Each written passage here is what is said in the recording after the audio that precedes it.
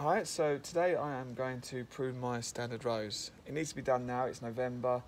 The autumn winds are going to be blowing and then be rocking it and they're going to get damaged, so we need to get down, uh, reduce the, the amount of foliage down so it doesn't get damaged in the wind.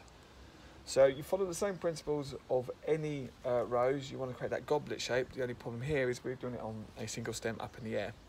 So you've followed the same rules of congestion, and uh, damage stems first and then we just create that goblet shape. So I'm going to get stuck in there and then I'll show you how it get on.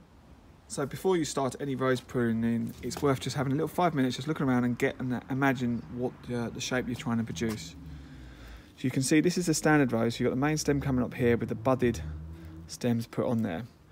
And that's the sort of area you want to keep and you want to create that goblet shape that I often talk about inside here.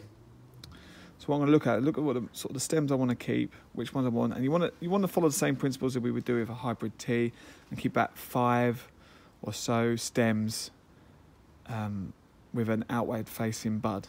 So I'm going to get stuck in and start pruning, and I'll show you the results soon. So here we go. Stems all cut down. Looks drastic, but I promise you this is what you need to do. Cut down, all pruned, so we leave a bud on the outward facing. So I've got one, two, three, four, five, six stems this time. That's fine.